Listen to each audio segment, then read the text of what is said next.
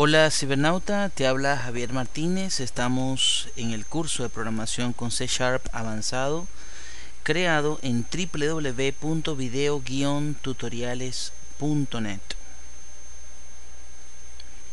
Bien cibernauta, entonces estábamos trabajando en el video pasado con la culminación de nuestro formulario base de registros. Ok, entonces ahora vamos a ver cómo se crea un formulario heredado. El primer paso que hay que hacer es habilitar estos cuatro botones que ves aquí con su propiedad modifiers. Su propiedad modifiers la tenemos por aquí.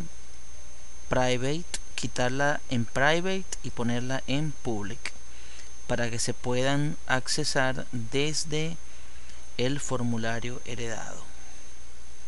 Modifiers, public, modifiers, public y modifiers, public. Muy bien, entonces guardamos todo y ahora vamos a construir la aplicación. Vamos a generar la aplicación. Si no la generamos no nos va a aparecer en la pantalla de formularios heredados. Entonces nos vamos acá al proyecto hacemos clic botón derecho y le hacemos clic en generar. Esperamos un momento y vemos que la compilación ha sido completada sin errores. Bien, cerramos esta ventanita aquí para ganar espacio. Y nos vamos ahora sí a generar nuestro primer formulario heredado. Clic botón derecho, agregar y este es un Windows Form o puede ser un nuevo elemento. Vamos a colocarle aquí nuevo elemento. Ok, entonces aquí tenemos las plantillas instaladas de Visual Studio. Tenemos entonces que escoger no el Windows Form normal, sino el formulario heredado. ¿Ok? Y a este lo vamos a llamar FRM departamentos. Así. FRM departamentos. Le damos agregar. Bien, luego nos sale aquí el selector de herencia, la ventana selector de herencia, donde me pide especificar el componente del que voy a heredar. Bueno, de FRM registro base, ¿verdad? Y le doy aceptar.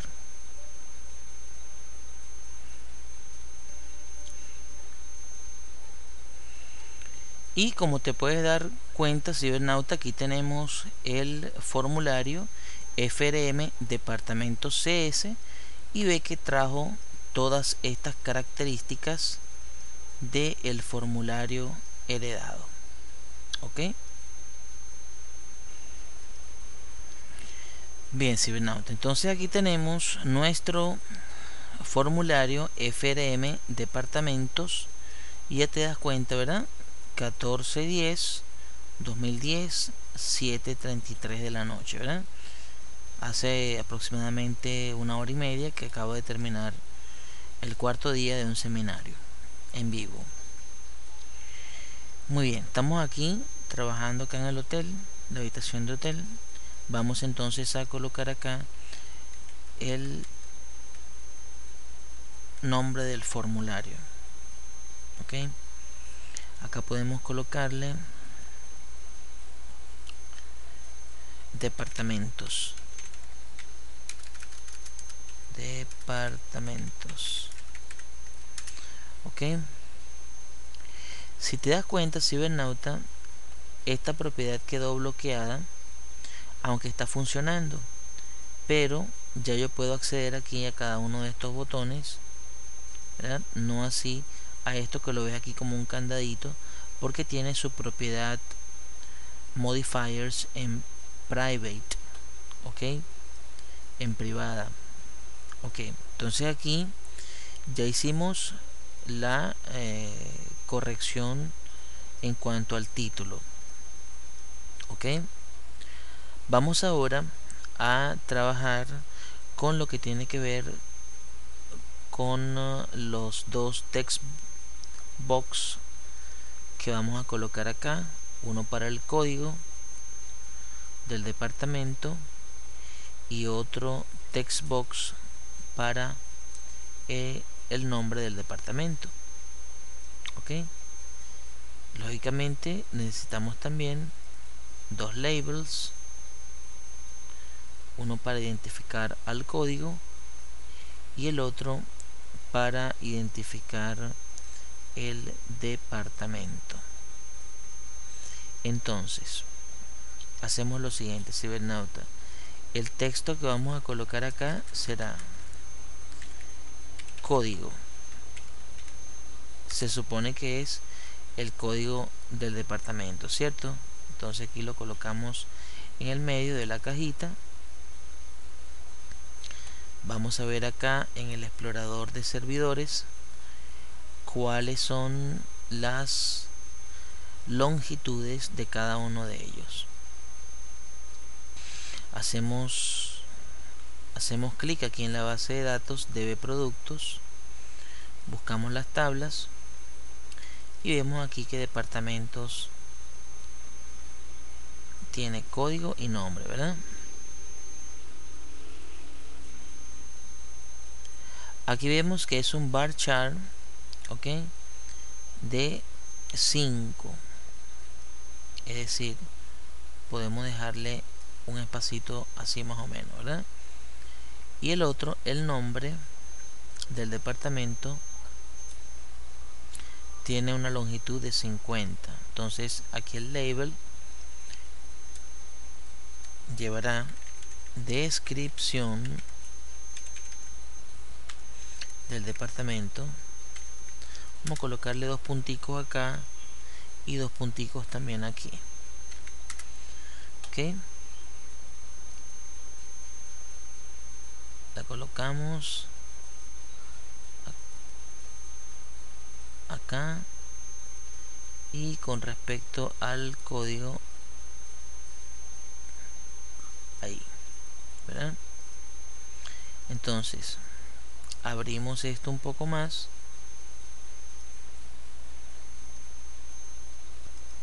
aquí en su propiedad max length vamos a colocar 5 y acá en su propiedad max length vamos a colocar 50 lógicamente estos textos estas cajitas de texto se van a llamar como con la nomenclatura siguiente. Txt código ok y el otro txt nombre se va a llamar así verdad para coincidir con el que colocamos en la tabla. Txt nombre. Bien entonces utilizamos estos dos controles. Lo colocamos acá en el medio de la pantalla si lo quieres ver así verdad ya que lo tengas acá más o menos centradito aquí en pantalla verdad vamos entonces si lo deseas yo en este caso lo voy a dejar así pero bueno yo te voy a mostrar cómo podemos utilizar un panel acá en este caso que es un objeto contenedor para darle quizás un poquito de mayor vistosidad y que englobe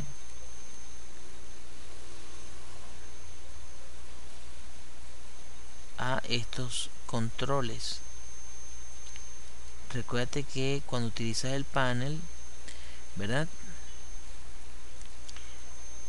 tienes la desventaja cibernauta B lo que va a pasar aquí si yo marco el panel como es un objeto contenedor, le hago clic en suprimir y él me va a suprimir tanto los campos que están dentro como el mismo panel.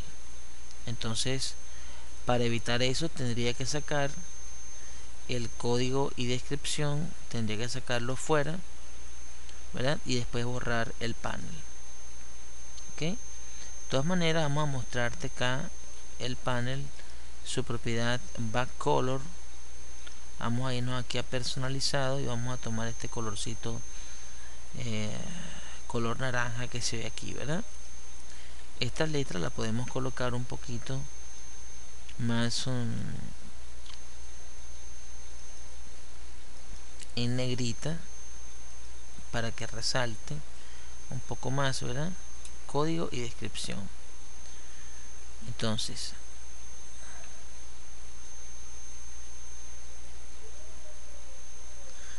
vamos a tomar aquí estas dos estos dos labels y vamos a echarlo un poquito más atrás.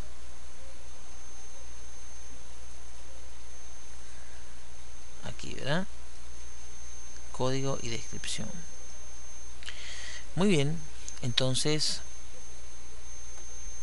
aquí tenemos vamos a guardar acá nuestro primer formulario heredado ahora cibernauta lo que nos falta es programar la clase y cada uno de estos botones para comenzar a meter código allí, ¿verdad?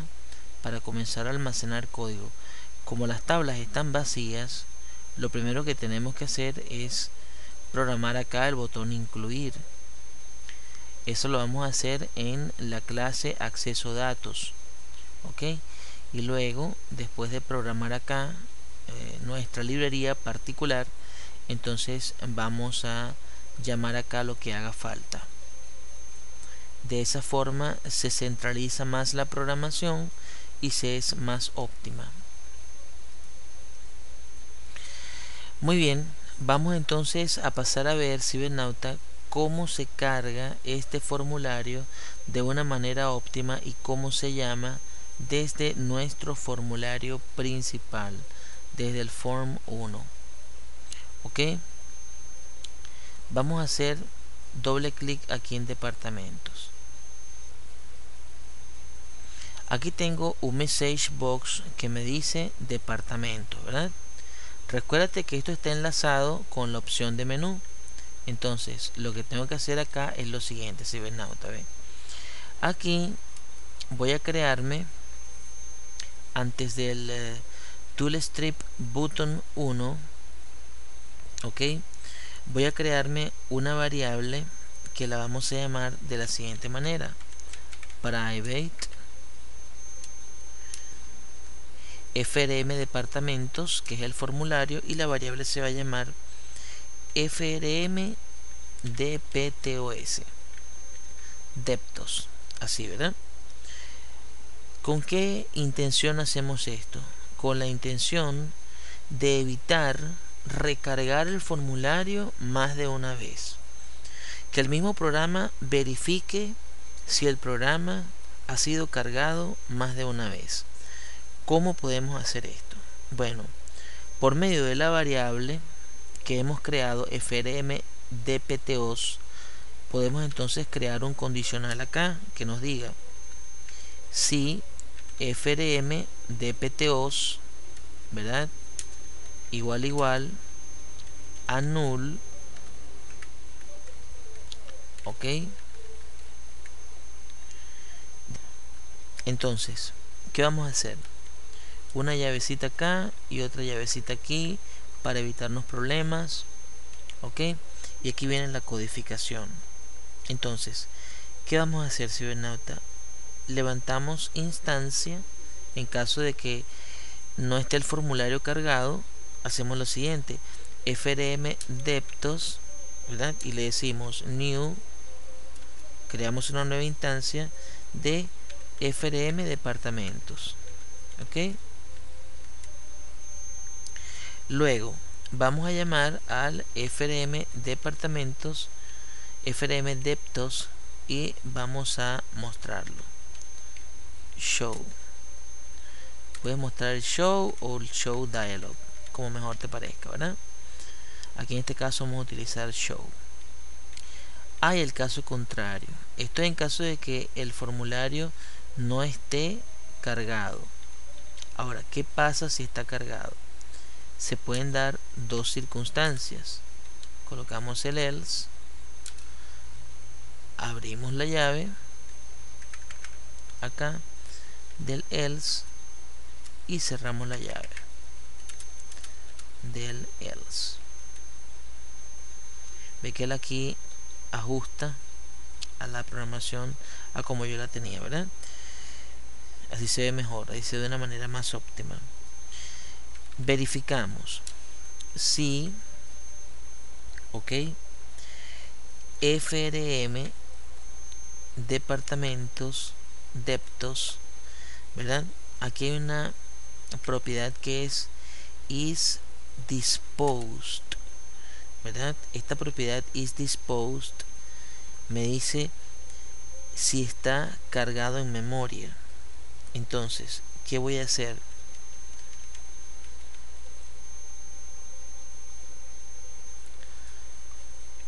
si está cargado en memoria copio esto mismo que está acá ok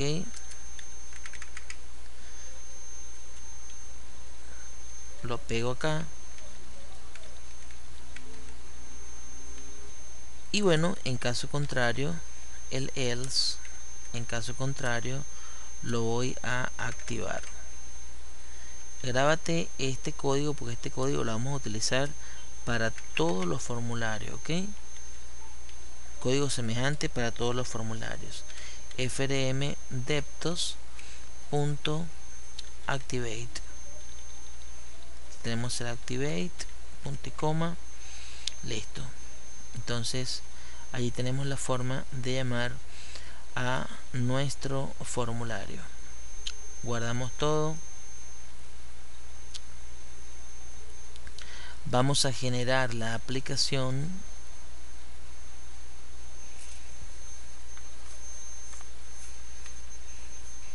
para evitar posibles errores y luego la ejecutamos.